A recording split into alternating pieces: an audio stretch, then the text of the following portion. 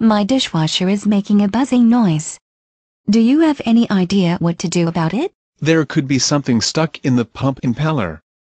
Unfortunately, that requires disassembly of the pump, and removing whatever is stuck. That is going to be done by a professional, because I don't want to risk my fingers in pump gears. You have to unplug the dishwasher, and turn off its water supply, before you do any type of work. Can I run it until I get a repair guy out?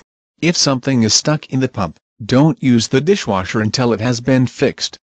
The pump could fail at any time or damage the rest of the dishwasher. I wish I had a fallback from using the dishwasher. Wash them by hand, or use paper plates, and plastic silverware for a while. And as for another source of the noise, the sound could come from the solenoid, connected to the detergent dispenser. It can't be that.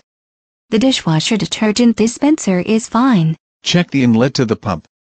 Any item could be stuck there. How does that create a buzzing sound? Pipes rattling at resonance can resemble a ringing, or buzzing sound. Small pieces of plastic or glass trapped in a drain, vibrating quickly while the unit runs, can resemble buzzing. I'd hear rattling, not buzzing, if that were true. Not necessarily, if motor sounds are masking the sound of the rattling, or if high-speed jets of water are speeding up the vibration, along with the machine vibrations. Could the sound come from the control panel? It could, especially if the dishwasher has a built-in buzzer, to notify you when it has completed a cycle. Would it make buzzing noises when it isn't supposed to? It would, if the control panel was broken or the electrical connections are malfunctioning. If only it could tell me what's wrong. At least it has the decency to warn you, before it conks out.